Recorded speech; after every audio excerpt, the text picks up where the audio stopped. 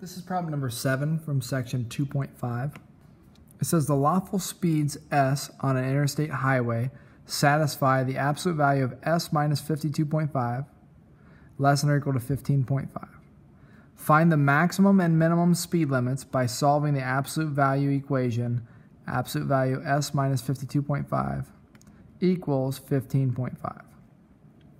So, they want us to solve the uh, they want us to solve this uh, equation here, and that'll tell us the maximum and minimum speed limits. So let's go ahead and write that out. So absolute value of S minus 52.5. My S's, sorry, look like 5, so I'm going to go ahead and put in, like a line through there, equals uh, 15.5.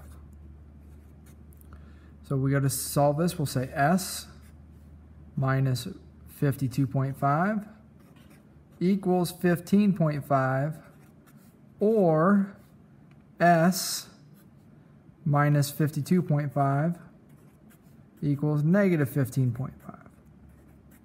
Just set it equal to the positive and negative version of that. Let's add 52.5 over. So we get S equals 15.5 plus 52.5. Let's see, that is uh, 68. Yeah, 68.